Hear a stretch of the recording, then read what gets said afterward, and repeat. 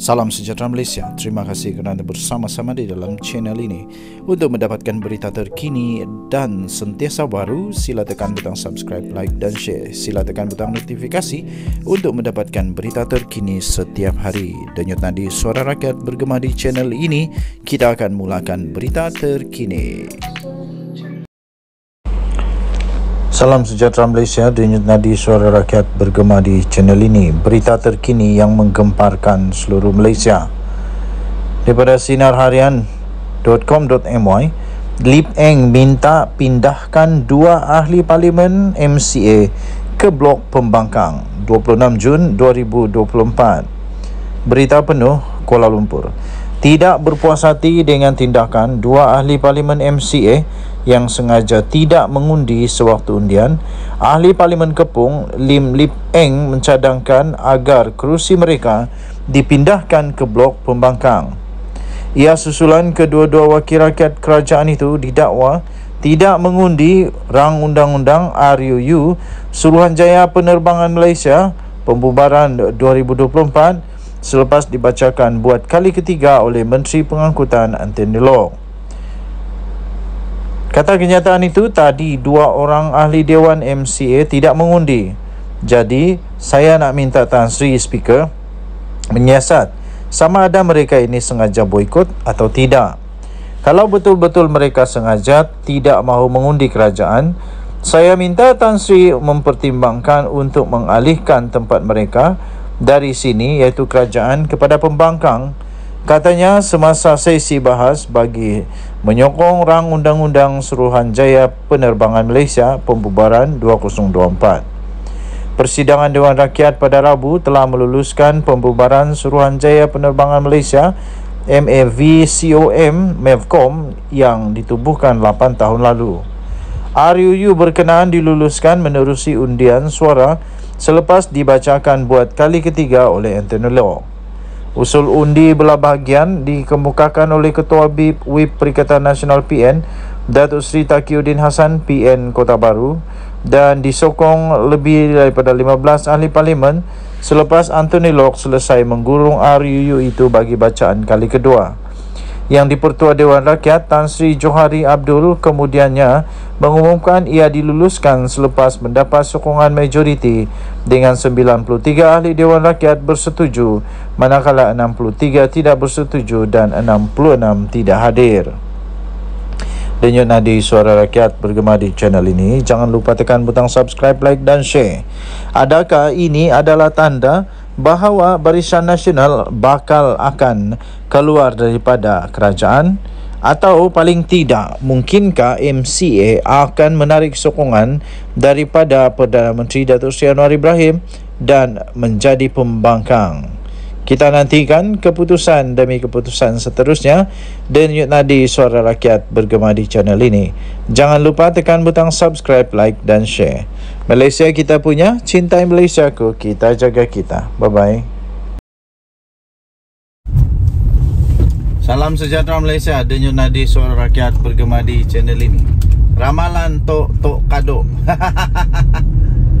ramalan tok kado ramalan daripada apa nama ni uh, nenek kebayan ramalan daripada banyak lagi lah.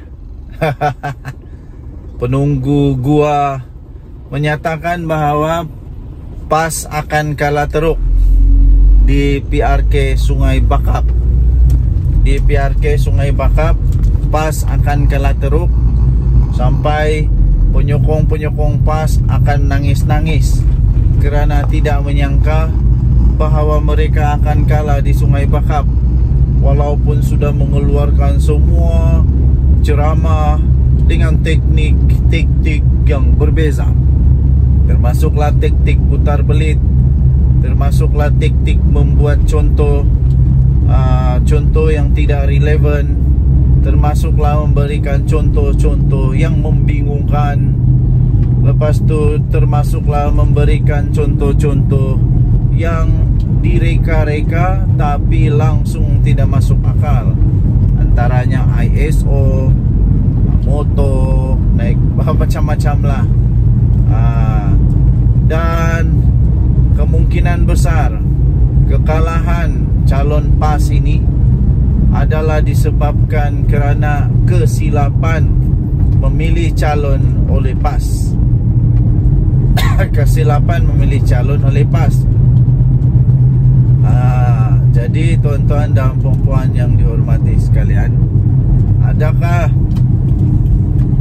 orang-orang di Sungai Bakap akan mengundi uh, ada komen lah ada komen tadi saya dapat ya ada komen yang tadi saya dapat komen daripada seorang penonton dalam channel saya ini dia kata saya pun tidak pasti tapi komen dia dia kata uh, calon PRK Sungai Bakap dari PAS ini hanya ada SPM lepas tu dapat SAP betulkah?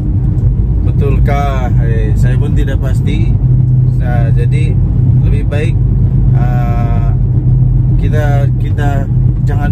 dengan benda-benda begitulah. Jangan percaya yang bukan di, di, dibuktikan dengan fakta. Jadi uh, yang pasti dia tak ajar PhD lah. Yang pasti dia tiada PhD dia tiada pendidikan yang cukup tinggi. Uh, jadi kerana itu ya tuan-tuan dan puan adakah orang-orang Sungai Bakap akan memilih orang yang tiada PhD uh, dibanding dengan calon yang ada PhD. Saya fikir, saya rasa orang akan pilih yang ada PhD. Uh, jadi ini ini adalah satu punca kekalahan utama, punca kekalahan utama kepada calon pasna sebab dia tiada PhD. Manakala zaman sekarang ini rakyat di negara Malaysia di mana-mana saja mengutamakan pendidikan.